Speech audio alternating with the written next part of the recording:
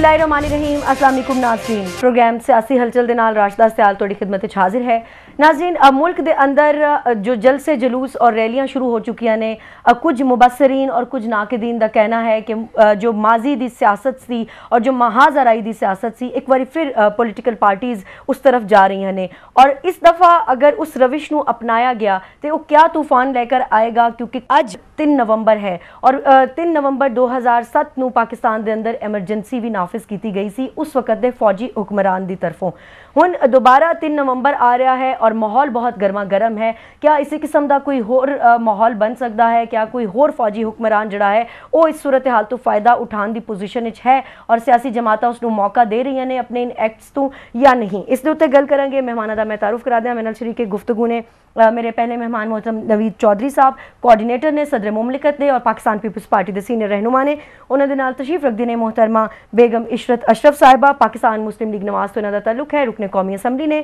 ਔਰ ਤੀਸਰੇ ਮਹਿਮਾਨ ਦੇ ਤੌਰ ਤੇ ਤਸ਼ਰੀਫ ਰੱਖਦੇ ਨੇ ਮੁਹਤਰਮ ਅਜਮਲ ਖਾਨ ਵਜ਼ੀਰ ਸਾਹਿਬ Pakistan Muslim League Quaid-e Azam senior central vice president ਨੇ ਔਰ ਟੈਲੀਫੋਨ ਲਾਈਨ ਤੇ ਅਸੀਂ ਕੋਸ਼ਿਸ਼ ਕਰਾਂਗੇ ਕਿ ਫੌਜ਼ੀਆ ਕਸੂਰੀ ਸਾਹਿਬਾ ਅ, ਪਾਕਿਸਤਾਨ ਤਹਿਰੀਕ ਇਨਸਾਫ ਦੀ ਰਹਿਨੁਮਾ ਨੇ ਉਹ ਸਾਨੂੰ ਜੁਆਇਨ ਕਰਨ ਵੈਲਕਮ ਕਵਾਂਗੀ ਮੈਂ ਆਪਣੇ ਮਹਿਮਾਨਾਂ ਨੂੰ ਔਰ ਚੌਧਰੀ ਸਾਹਿਬ ਜਿਸ ਤਰ੍ਹਾਂ ਮੈਂ ਅ, ਆਪਣੇ ਇੰਟਰੋ ਦੇ ਵਿੱਚ ਕਿਹਾ ਕਿ ਜਲਸੇ ਜਲੂਸ ਔਰ ਰੈਲੀਆਂ ਦੀ ਸਿਆਸਤ ਆ ਰਹੀ ਹੈ ਔਰ 3 ਨਵੰਬਰ ਵੀ ਹੈ ਸਭ ਤੋਂ ਪਹਿਲੇ ਤੁਹਾਡੇ ਕਮੈਂਟਸ ਚਾਹਾਂਗੀ ਕਿ ਇਸ ਵਕਤ ਜੋ ਇਹ ਮਾਹੌਲ ਬਣ ਰਿਹਾ ਹੈ ਇਸ ਦਾ ਮਕਸਦ ਕੀ ਹੈ ਕਿਆ ਸਮਝਦੇ ਹੋ ਤੁਸੀਂ ਕਿ ਕਿਆ ਇਹ ਪਬਲਿਕ ਨੂੰ ਕੁਝ ਸਰਵ ਕਰ ਪਾਣਗੇ ਇਹ ਜਲਸੇ ਰੈਲੀਆਂ ਇਹ ਜਲੂਸ ਇਹ ਸਾਰੀ ਚੀਜ਼ਾਂ ਦੇਖੋ ਜੀ ਦੋ ਇਵੈਂਟ ਹੋਏ ਨੇ ਇੱਕ ਪਹਿਲਾ 28 ਅਕਤੂਬਰ ਦਾ ਸੀ ਜਿਹੜਾ ਕਿ ਰੈਲੀ ਸੀ ਅਹ, ਮੁਸਲਿਮ ਲੀਗ ਨੂਨ ਦੀ ਦੂਸਰਾ 30th ਨੂੰ ਸੀ ਜਿਹੜਾ ਇਮਰਾਨ ਖਾਨ ਸਾਹਿਬ ਦਾ ਜਲਸਾ ਜੀ। ਸੀ ਦੋਵਾਂ ਨੂੰ ਅਸੀਂ ਦੂਸਰੇ ਤਰਾਜ਼ੇ ਹੀ ਦੇਖਾਂਗੇ ਪਹਿਲੀ ਗੱਲ ਇਹ ਕਿ ਮੁਸਲਿਮ ਲੀਗ ਨੂਨ ਨੂੰ ਕਿਉਂ ਜ਼ਰੂਰਤ ਮਹਿਸੂਸ ਹੋਈ ਇਸ ਮੌਕੇ ਤੇ ਰੈਲੀਆਂ ਔਰ ਧਰਨੇ ਔਰ ਦੂਸਰੇ ਦੀ? ਉਹਨਾਂ ਦੀ ਤੇ ਗੱਲ ਸਮਝ ਆ ਰਹੀ ਹੈ। ਕੋਈ ਇਸ ਵਾਸਤੇ ਉਹਨਾਂ ਨੂੰ ਹੋਈ ਹੈ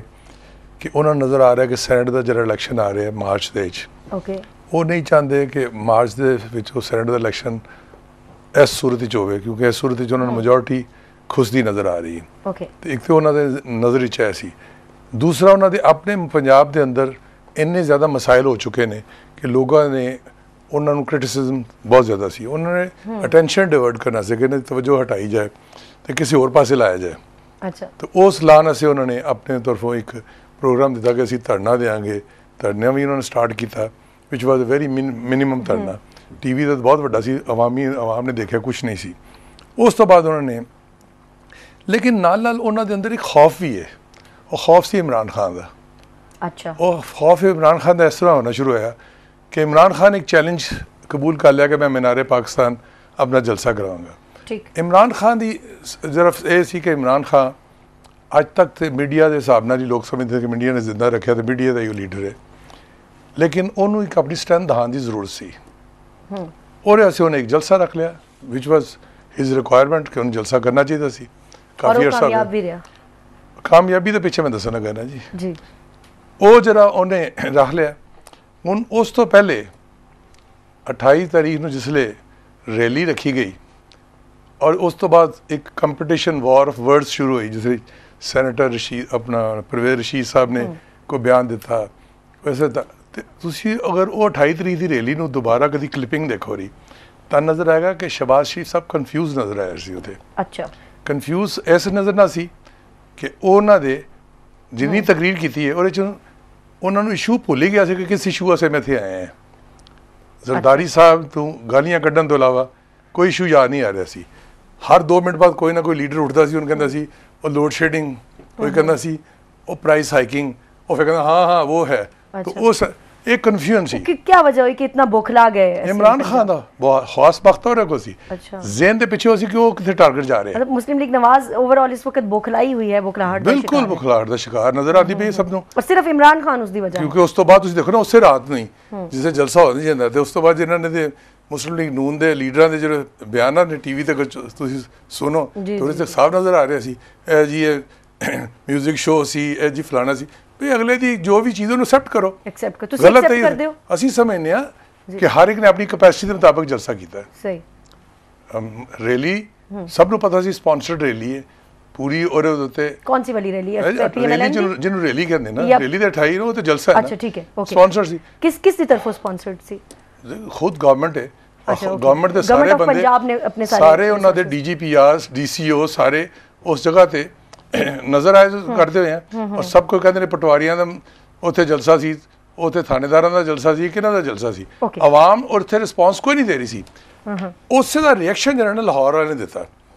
ਉਸ ਗੁੱਸੇ ਨਾਲ ਕਿ ਵੀ ਇੱਕ ਪਾਸੇ ਡਿੰਗੀ ਦੀ ਵੇ ਲਾਹੌਰੀਏ ਮਰ ਰਹੇ ਨੇ ਦੂਸਰੇ ਪਾਸੇ ਤੁਸੀਂ ਆਪਣੀ ਸਟਰੈਂਥ ਸ਼ੋ ਕਰਨ ਦੀ ਕੋਸ਼ਿਸ਼ ਕਰ ਰਹੇ ਹੋ। ਔਰ ਰਿਐਕਸ਼ਨ ਵਿੱਚ ਇਮਰਾਨ ਖਾਨ ਨਾਲ ਜਾ ਕੇ ਨੇ ਕਿ ਅਸੀਂ ਦੱਸ ਰਹੇ ਹਾਂ। ਇਟ ਵਾਸ ਅਗੇਂਸਟ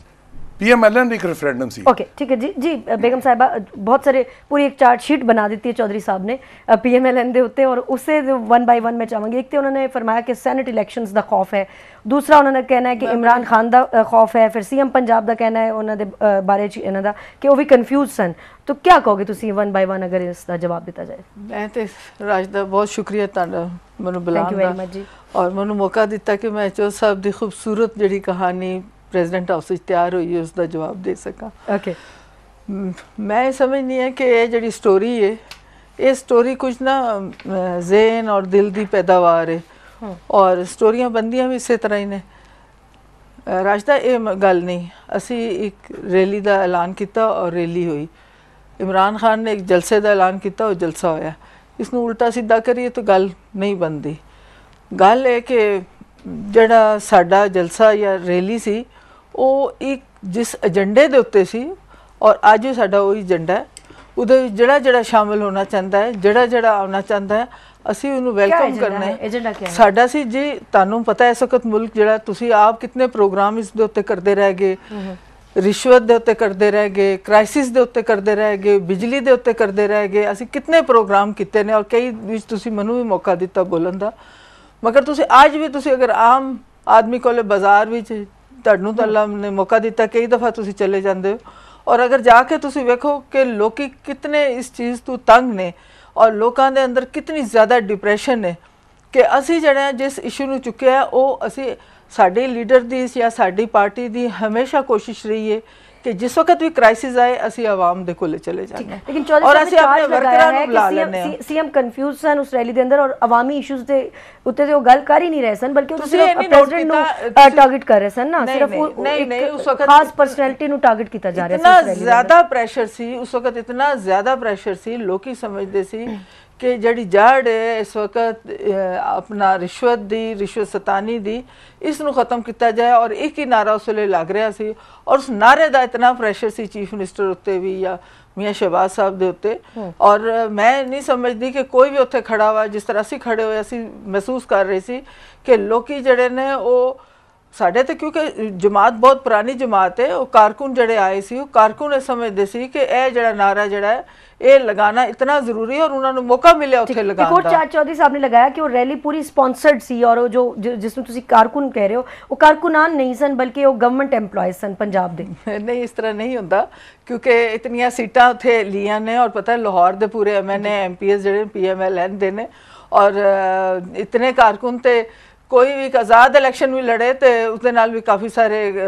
ਇੱਕ ਪੂਰੀ ਟੀਮ ਤਿਆਰ ਹੋ ਜਾਂਦੀ ਹੈ। ਇਹ ਇਸ ਤਰ੍ਹਾਂ ਗੱਲ ਨਹੀਂ ਇਸ ਨੂੰ ਅਸੀਂ ਜਿਤਨਾ ਵੀ ਕਵਰ ਕਰ ਲਈਏ ਜਿਤਨਾ ਵੀ ਅਸੀਂ ਲੋ ਕਰ ਲਈਏ ਉਹ ਗੱਲ ਨਹੀਂ ਬੰਦੀ ਇਹ ਤੇ ਦੁੱਧ ਦਾ ਦੁੱਧ ਪਾਣੀ ਦਾ ਪਾਣੀ ਉਸ ਵਕਤ ਹੋਵੇਗਾ ਜਿਸ ਵੇਲੇ ਮੈਦਾਨੇ ਜੰਗ ਵਿੱਚ ਨਿਕਲਾਂਗੇ। ਤੇ ਮੈਂ ਇਹ ਸਮਝਨੀ ਆ ਕਿ ਸਾਡਾ ਜਿਹੜਾ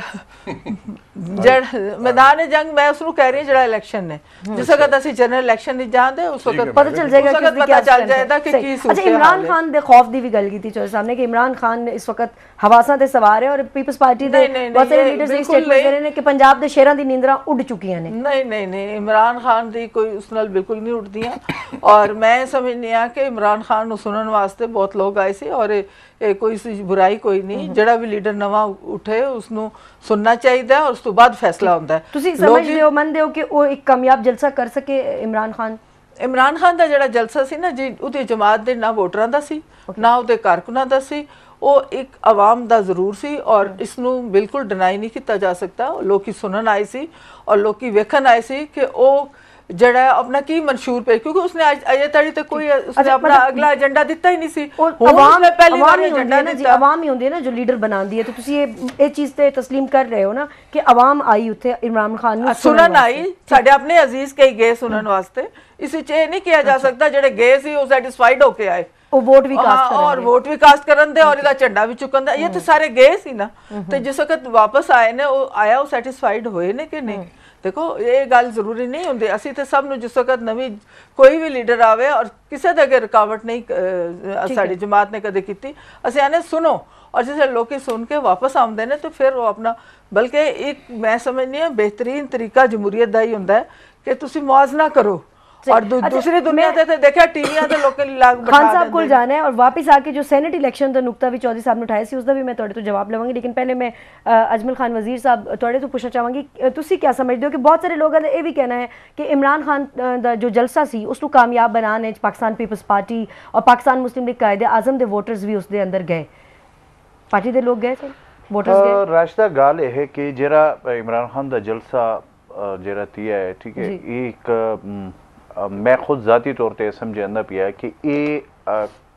लोगों का जरा बड़ास है ये है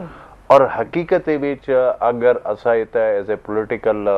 क्या पार्टी का सा तालुक है मुख्तलिफ़ पार्टियों को लेकिन हकीकत जी है वो सबको एक्सैप्ट करना चाहिए सारी ये बदकिस्मती है कि हकीकत एक्सैप्ट नहीं कौन सी भड़ास है किस मैं, मैं तो समझा जी गाल है कि इमरान खान का जलसा बिल्कुल हंड्रेड परसेंट कामयाब जलसा है ਤਾਰੀਖੀ ਜਲਸਾ ਹੈ ਨੋ ਡਾਊਟ ਗੱਲ ਇਹ ਹੈ ਜੀ ਕਿ ਇਮਰਾਨ ਖਾਨ ਜਿਹੜੀ ਗੱਲ ਕਰਦਾ ਪਿਆ ਹੈ ਉਹ ਕਾਮਯਾਬ ਤੇ ਮੇਰਾ ਸਵਾਲ ਸੀ ਕਿ ਕਿਆ ਤੁਸੀਂ ਤੁਹਾਡੀ ਪਾਰਟੀ ਦੇ ਲੋਕਾਂ ਨੇ ਉਸ ਨੂੰ ਕਾਮਯਾਬ ਬਣਾਉਣ ਇਹ ਆਪਣਾ ਹਿੱਸਾ ਡਾਲਿਆ ਦੇ ਜਾਂ ਇਸ ਦੇ ਨਹੀਂ ਵਿੱਚ ਡਾਲਿਆ ਇਸ ਦੇ ਵਿੱਚ ਮੈਂ ਗੱਲ। ਕਰਾਂ ਇਸ ਦੇ ਵਿੱਚ ਮੈਂ ਗੱਲ ਕਰਾਂ। ਗੱਲ ਇਹ ਹੈ ਕਿ ਇਸ ਦੇ ਵਿੱਚ ਸਾਰੇ ਲੋਕ ਗਏ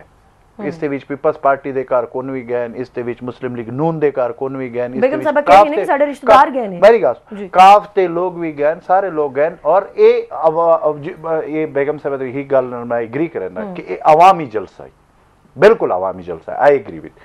ਗੱਲ ਇਹ ਹੈ ਕਿ ਇਮਰਾਨ ਖਾਨ ਨੇ ਉਤਾ ਗੱਲ ਕੀਤੀ ਇਮਰਾਨ ਖਾਨ ਇਤਾ ਜਿਹੜੀ ਪੋਲਿਟਿਕਸ ਕਰਦਾ ਪਿਆ ਉਸ ਦਾ ਮੇਨ ਉਹ ਆਦਾ ਮੈਂ ਚੇਂਜ ਗਿਨਾ ਸਾ ਹੂੰ ਔਰ ਉਸ ਦੀ ਜਿਹੜੀ ਗੱਲ ਹੈ ਉਸੀ ਚ ਵਜ਼ਨ ਵੀ ਹੈ ਇਹ ਵੀ ਹਕੀਕਤ ਹੈ ਕਿ ਲੋਕ ਇਸ ਵਕਤ। ਵਾਕਈ ਓਬਾਮਾ ਵੀ ਅਮਰੀਕਾ ਦੇ ਅੰਦਰ ਚੇਂਜ ਦਾ ਨਾਰਾ ਲੈ ਕੇ ਦੇਖੋ ਜੀ। ਇਹ ਬਾਤ ਦੀ ਗੱਲ ਹੈ